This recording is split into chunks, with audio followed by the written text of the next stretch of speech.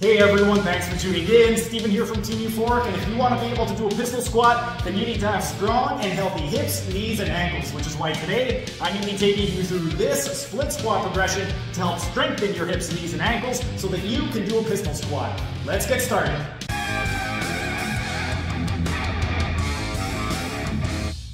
This is the front foot elevated low pulley cable split squat. To set up, you want to be facing the cable column and you want the D handle set up all the way to the bottom position. If you don't have a D handle, use whatever you have available. And for the actual step, you want it roughly mid shin height. Then, with the leg opposite to the arm that you're going to be holding onto the weight, you want to move the working leg forward onto the actual platform. You're going to go ahead and grab the hold of the D handle.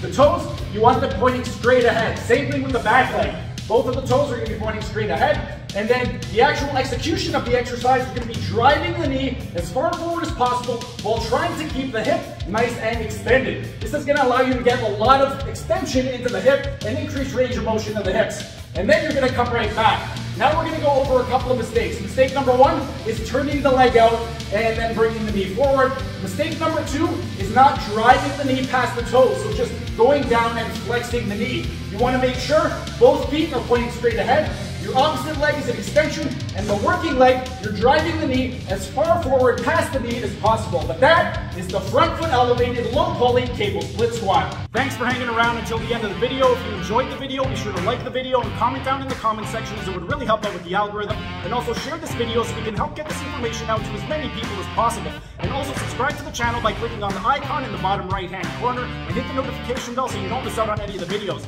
For those of you interested in health optimization, you can check out the video in the top right corner where I discuss the six foundation principles. And for those of you interested in optimizing your performance, then consider becoming a member. It's only $5 per month, and you get a ton of perks, including exclusive access to this program design lecture series playlist above my head.